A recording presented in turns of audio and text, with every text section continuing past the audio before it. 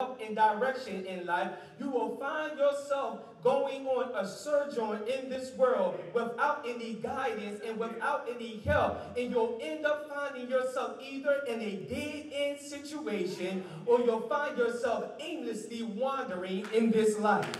And if you are honest with yourself this morning, we all have found ourselves at one place and one time going down dead end roads, going down a one-way street, going down and going, getting off an exit that was not destined for our destination. We found ourselves in dangerous places that we should not be in, all because we did not follow God's signs of caution nor God's signs of direction. But left to our own selves, we've made mistakes. Left to our own self, we've gotten lost. Left to, left to our own self, we may find ourselves in church, but church ain't inside of us.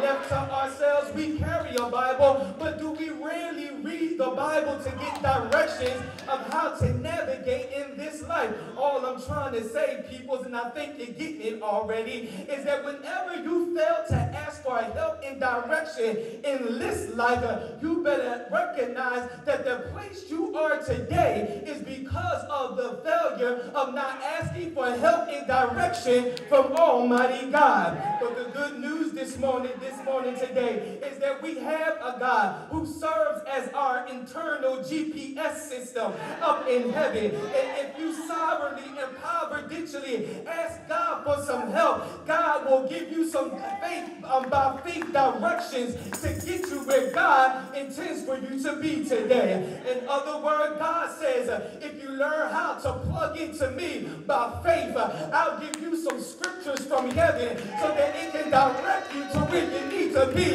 in this life. I'm loving that, y'all. God says, if you know how to call on my name, I guarantee you I'll sovereignly and providentially give you some scriptures by faith that will get you to the place uh, of where God wants you to be in life. Uh, in other words, if you get online and type in your search engine, MapQuest.God, God's navigation system will give you some scriptural direction that will guide you out of some, trouble, keep you away from some trouble, and take you to where God is trying to call you in your life. In other words, if you're not feeling me, if you need to know how to wait on the Lord, if you need to learn how to hold on, to confront burdens, to be lifted up above bad relationships, and to get to heaven, what I recommend you take some directions. First, won't you take patience drive? Uh, for God's scriptural direction will let you know. Wait on the Lord and be of good courage, and God will strengthen your heart. Learn how take hope highway.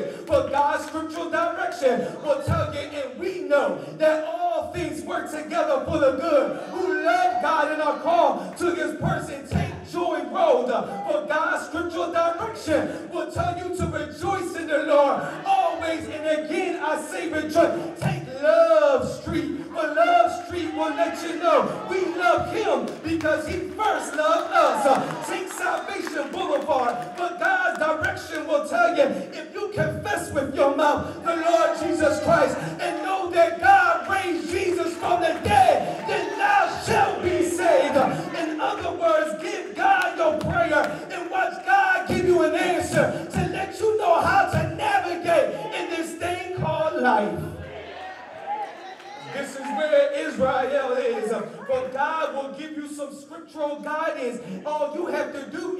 God for some help in direction. But one day a traveler had an exploration in Africa and he began to travel with some people. When the people were with him, the people began to complain and grumble. They began to look at their surroundings as they were in the jungles of Africa. The people began to say, listen man, there's no roads on this path.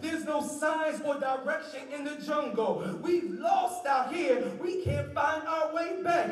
How in the world are we going to get back to where we are comfortable, where our homes are, where our children is? You got us lost, man, out in this jungle. It's like a jungle sometimes. It makes me wonder how I keep from going under. And if there's no signs of direction, how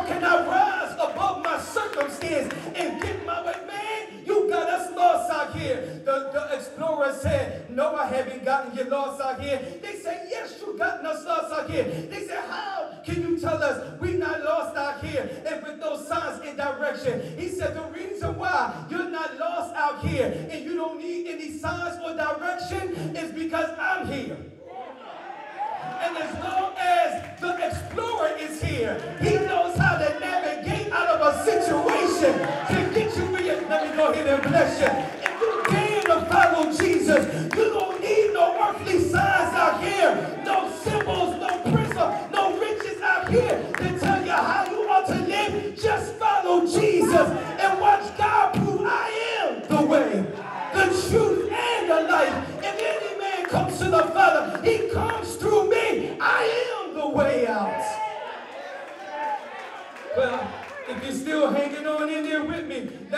to the text this morning. For here it is that the legendary lawgiver, the liberator, that black Negro uh, from the isles of the, of the African cities by the name of Moses is out leading the children of Israel. For it is Israel, don't know who Israel is. It is the fledgling faith community who at times doesn't know when to trust God or when to try to lead on their own understanding. But in spite of their upside liberator and a leader in the name of Moses.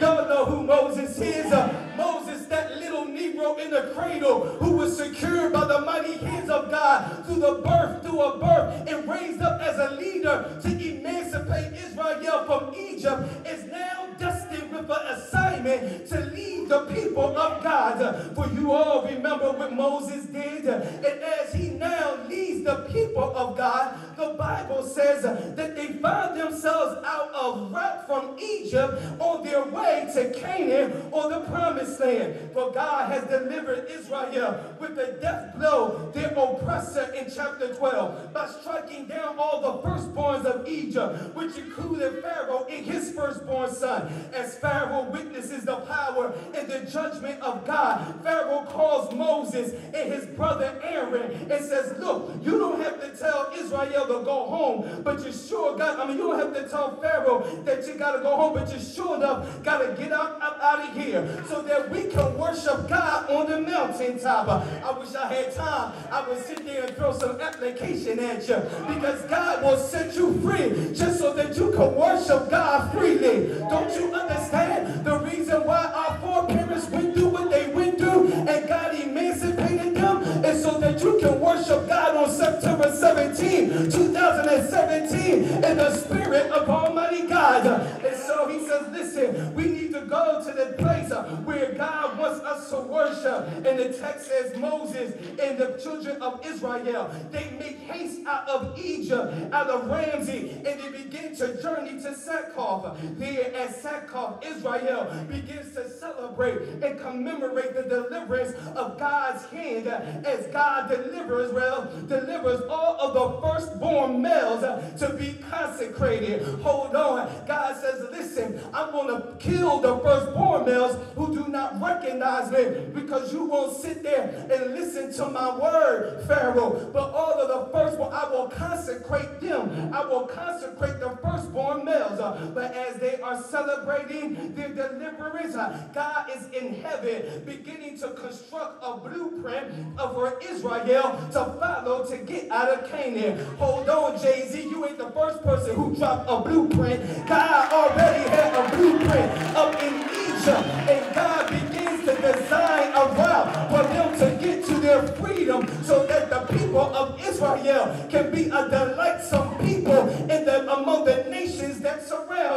For Israel had experienced deliverance by God, but they did not know how to walk with God.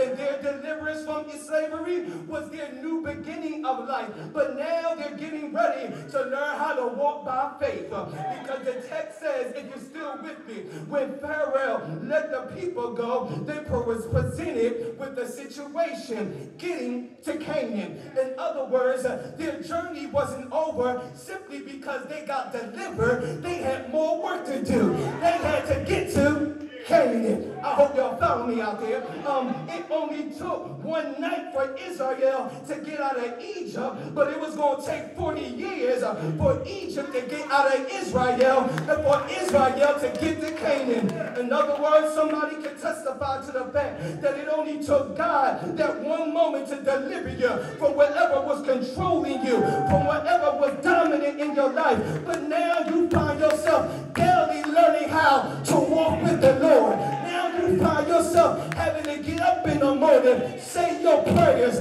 get out the house, ask God to keep you, get to your job, ask God to keep you away from them crazy Negroes, ask God, make sure my paycheck is right at the end of the week, ask God, make sure I can get to church on Sunday morning.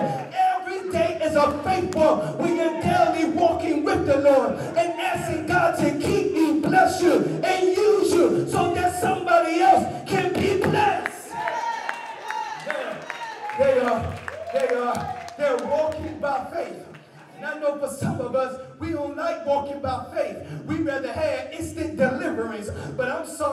God works in two ways. God will instantly deliver you, or he will progressively deliver you.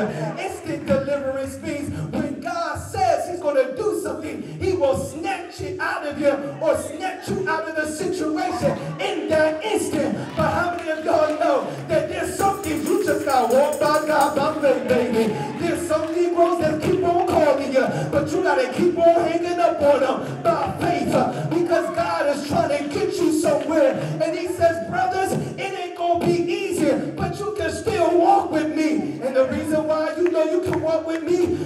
if I could deliver you in a moment out of that situation,